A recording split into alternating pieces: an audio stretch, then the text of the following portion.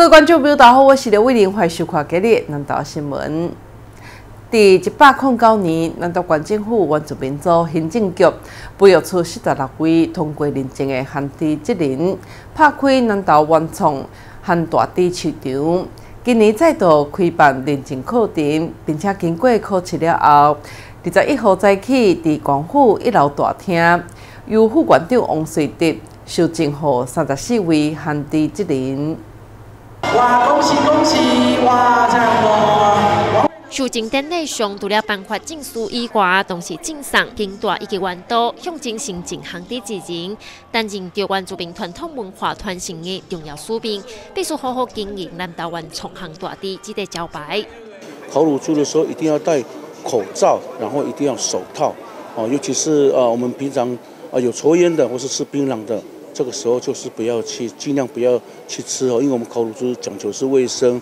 那未来我相信，啊，我们县府为了办这个呃烤猪的这个认证哈，我相信对我们啊原住民这一块的地方烤乳猪的地方会会更上一层楼。上完这之后就知道说，哎，该怎么该怎么去，呃，卫生习惯啊什么都会去培去提升这样子，然后对于我们之后可能工作上面都会有很大的帮助。这样。烤大猪会不会很吃力？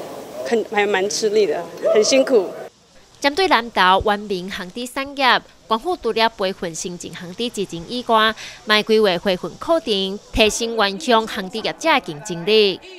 保留并且发扬我们烤猪的传统文化。那第二个就是我们来呃推展原住民的烤猪的呃这个经济产业的发展。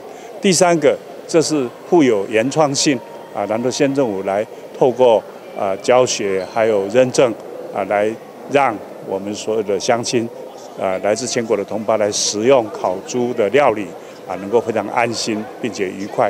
第四个啊，就是分享。我们这种同胞很喜欢把上帝的恩典啊，把好的东西跟别人分享。我们烤大猪哈，是我们原住民的一个比较重视的啊。现在各个机关团体或者全省各地，甚至于学校。或者是军方在办活动的时候，也会找上他们，为他们烤个大猪哈，就让他们的一些餐序啊，能够增加一些特色。